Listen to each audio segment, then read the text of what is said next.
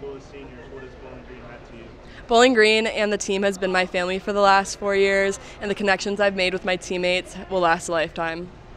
Bowling Green has opened many opportunities for the future and gaining new experiences. What are you guys looking forward to most for the rest of your senior season? I'm looking forward to MACs and being able to travel with my teammates one last time. I was going to say looking forward to MACs and just spring season. It's going to be fun.